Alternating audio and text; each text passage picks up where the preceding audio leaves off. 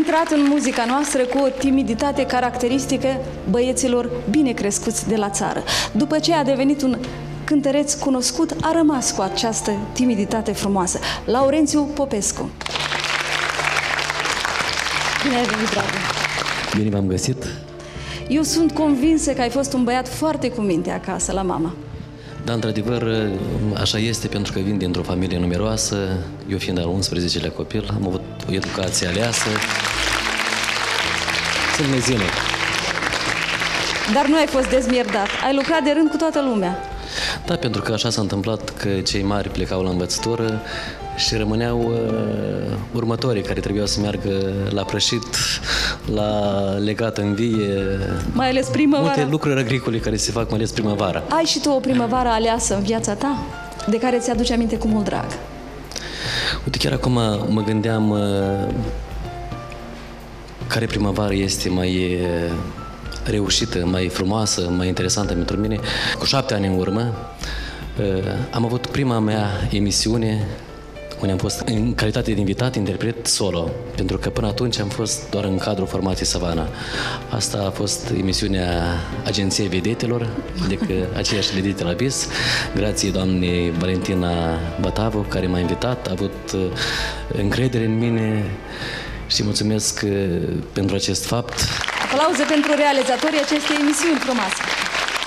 Care este mărțișorul muzical care ni-l ofer astăzi? O piesă de dragoste, semnată Desigur, de muzica de, dragoste. de Vlad Mircos, text Gheorghe Reapțov, De unde vii? De unde vii cu Laurențiu Popescu?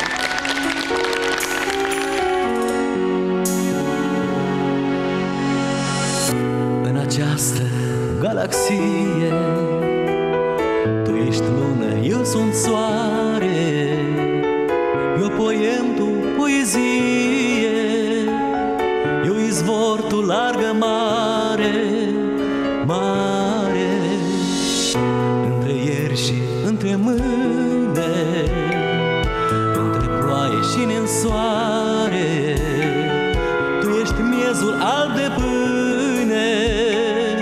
Eu sunt robul greu de sare De unde vii? Din care țară de vis? Din ce poem?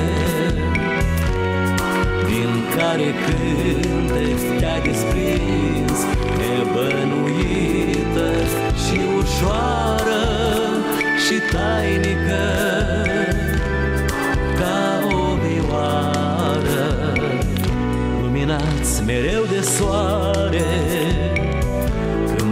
Când sare sau asfinte Eu sunt nervul care doare. Tu ești lacrima ferbinte Ferbinte Între grâu și între neghină Între scrum și între jeratic Două suflete se alină Sau se zbuci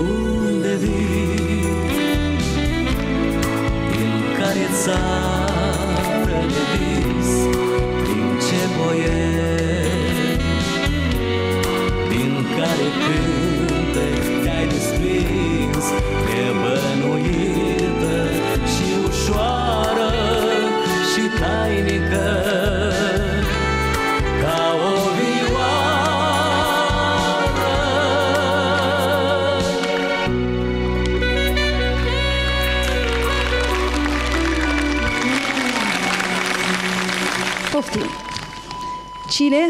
Domnișoară, simpatică. Mă numesc Prico Pionela, sunt eleva clasa 9 a Școlii de Artă Alexei Stârcea. Lacul codrilor albastru nu fer galben îl încarcă. Tresărind în cercuri albe, el cu tremură o barcă. Și o trec de-a lung de maluri, parcă ascult și parcă aștept. Ea, din trestii, să răsară și să-mi cadă lin pe piept. Să sărim în luntrea mică, îngânați de glas de ape. și să scap din mână cârma și lopețile să-mi scape. Să plutim cuprinși de farmec sub lumina blândei lune.